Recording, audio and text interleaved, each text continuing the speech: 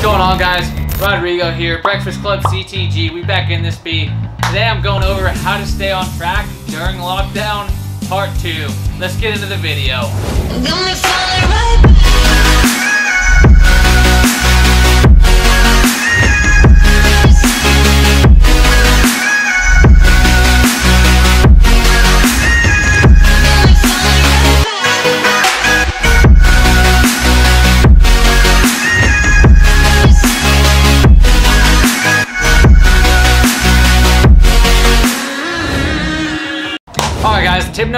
Gonna be to stop snacking. It's probably the most crucial and one of the most important things I'm gonna cover today, but we all do it. It's something we don't really think about, and it's really the deadliest thing you can do during lockdown is just mindless snacking. We all do it. We all love to snack. We all personally look like snacks, but at the end of the day, it's gonna ramp up your calories. It's gonna shoot them through the roof, and honestly, it's pretty shitty because you're not really gonna be enjoying the food and the snacks you're eating. One, they're probably unhealthy. Two, you're probably doing it mindlessly. Three, you're not consciously like enjoying the food, but you're still getting all the calories. You're still gonna gain all the fat. You're still gonna feel like you're eating unhealthy snacks. So honestly, just stop snacking. It's just a big no-no, especially during lockdown whenever you don't have as many activities and you're not as active.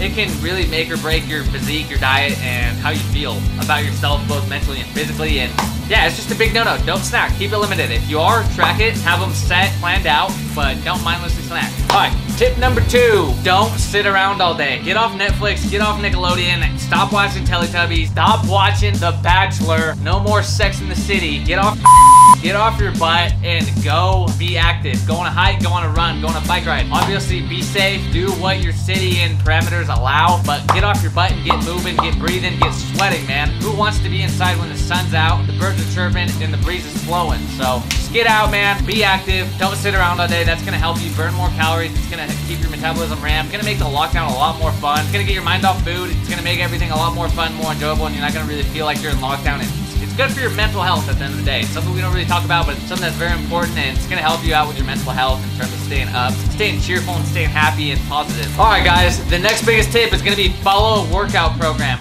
The main key for loss of motivation, loss of workout motivation, and stuff in general is not having a plan, not having a routine. So I highly recommend you to jump on a program. That can be an ebook, that can be one-on-one coaching through me, that can be a program you see online. I post daily workouts on Instagram, so make sure you get some over there, save them and do them. I post them almost daily, but jump on a workout program, and as long as you know that you have a workout to do the next day, there's a higher chance of you getting out, getting active, and killing a workout. So I highly urge you to jump on a program and stick to it, stay consistent, and just really know what you're gonna be doing. And just having that is accountability in itself because there's no excuse. You already know what the workout is, you know what you're supposed to be doing, and you know the benefits, the results you'll gain from it. So if you just don't wanna do it, that's up to you, man. So it's, it's really up to you. You're gonna be the one bearing the consequences if you decide to skip out on it. But whenever you do have this program, man, you're gonna be a lot more motivated, especially if there's a community and competitiveness around it. If you guys ever do my workouts on Instagram, go ahead and tag me in them and also just post your times and let's get a little competitive, man. Breakfast Club, baby, let's go. The next biggest thing is gonna be find a new hobby, man. Find a new hobby. Go boogie boarding, surfing,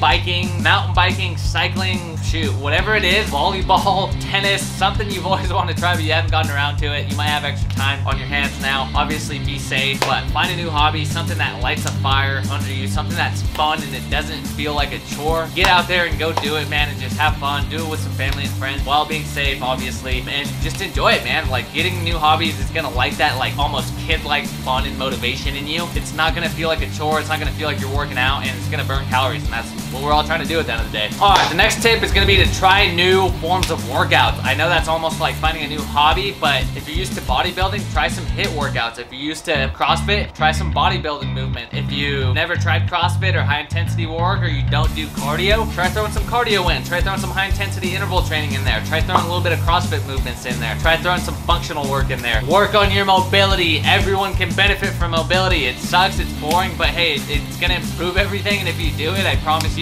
get in the routine, you're, you're gonna see crazy results from it, man. So try new things, try new forms of working out, stretching, yoga, whatever it is, and just have fun, man. And just maybe it opens up your eyes to something that you love and you never would have known if you didn't try it. All right, guys, this is something that I know works for a fact and that is calling a family member or a group of friends, telling them your goals, and having them keep you accountable. I personally had a group called the ASP, it was called the Accountability Support Program that me and my best friends did. We would all get in there every Sunday night, tell each other our goals, really just kind of recap on the past week's goals and see if we hit them. And everyone called each other out on their shit and it kept everyone accountable, kept everyone moving forward, making crazy gains toward their goals. You guys don't have to have a program like that because it kind of can get stressful. Like, hey, I have a meeting this Sunday for my goals. It kind of does get stressful and kind of does get in the way of things sometimes. So if you don't really want to do that, all you have to do is literally call up a friend or call up a family member and tell them, hey, these are my goals. Can you keep me accountable? Can you shoot me a text at this time? If I don't shoot you a text at this time, like, I'll give you $5 or something. It doesn't have to involve money, but just some sort of accountability structure that's going to help you out a lot. I know it works for a fact because I've done it and I've done it for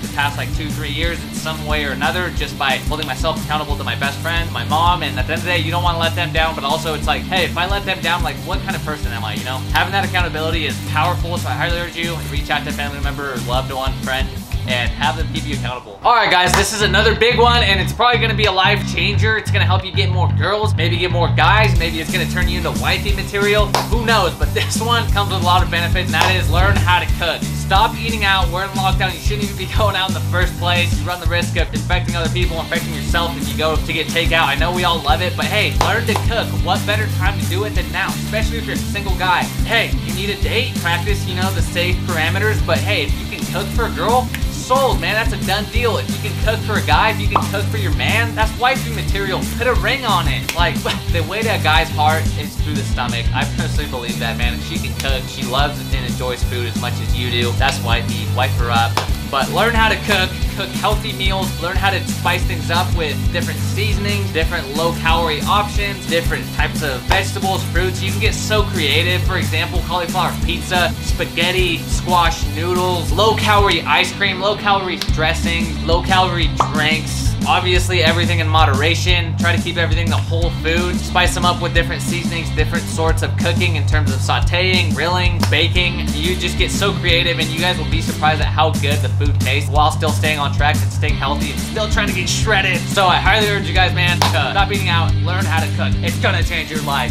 All right, guys, if you guys need that next bit of accountability, that one step further, it's good to have your friends and your family members keep you accountable. You're learning how to cook and you're keeping yourself accountable. You want to know exactly what to do with your nutrition, I highly urge you to hire a nutrition coach. I'm a precision nutrition level one nutrition coach, and it's what I love. It's what I'm passionate about. If you guys didn't know, I used to be a chubby kid. I didn't know about nutrition. I literally would work out and play sports, but I just ate like shit. Didn't really know what to put in my body. I had to learn about nutrition the hard way and all by myself, and that's why I decided to get certified. And now I'm just teaching it to you guys. If you guys need help with your nutrition, I'd love to help you guys out. Apply for one-on-one coaching. But needless to say, hiring a nutrition coach will be a savior and a game changer, especially during lockdown. You're gonna have everything dialed in in terms of what you should be eating, why, how to pair it with your training, and really get closer to those goals. You're gonna be having that peace of mind knowing that you're moving the needle towards your goals every single day and having someone to tell you on those low days that, hey, you're doing good, stay on track. I promise you, I've seen this before. You're doing the right thing. It's gonna be a game changer, man. It's gonna give you that peace of mind, that clarity, and all you have to do is put in the work. Get the training in, get the nutrition in, do what the coach tells you to do. Boom, man. Have those accountability partners, your family and friends, like, hey, you're keeping me accountable. Boom, your nutrition coach is telling you what to do. The training program you're following is on point. You go back to the family members that are keeping you accountable and say, hey, I'm crushing it. Your coach is pumped on you. Your body's looking good. You're pumped with yourself. Everyone around you, you just have good energy, man. It's good vibes.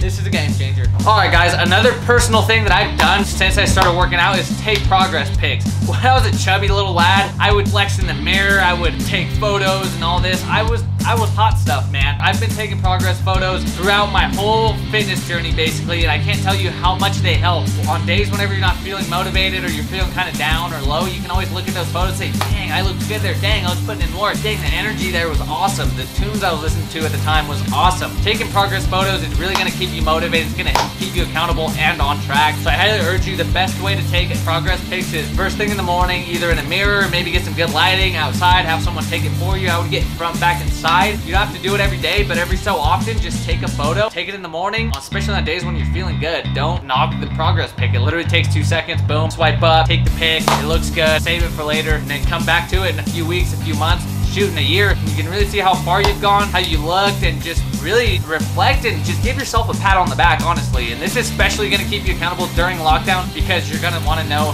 the progress you're making. You're not gonna wanna backtrack, you wanna wanna get better forward. And honestly, when this is all over, you're gonna be like, hey, I kicked ass during that time. So if I can kick ass then, I can kick ass now at whatever point in, time you're at in your life. All right, the final tip is gonna be to get out in nature. There's nothing better than getting a nice breeze, good view, and some sunshine in, man. Get out in nature, go on a hike, man, go on a walk, a bike ride. Just get out in nature. Mother Nature's so beautiful and it really does great things for your mind, body, and soul. I truly believe that. Nothing better than just getting out there, feeling the breeze, just de-stressing and just thinking about life and just knowing that everything's gonna be okay, that you're making steps in the right direction, you're taking care of yourself, you're taking care of those around you, and there's really no better feeling than that. So I highly urge you guys to get out in nature, get active, get up, and get moving, man. Stay positive, guys. We're gonna make it through this lockdown part two. I promise you guys, we've made it through part one, which was the hardest part. We're already used to it. We can bring it on. We can take it. Bring it on, baby. Let's go. Anyways, I hope you guys enjoyed the video. If you haven't already, hit that like button, smash that subscribe button, man. I'm so pumped that you guys are following along this journey with me. The Breakfast Club, baby. You guys are family. The Breakfast Club family. I'm so pumped that you guys are following along this journey. Stay tuned for more videos. Two new videos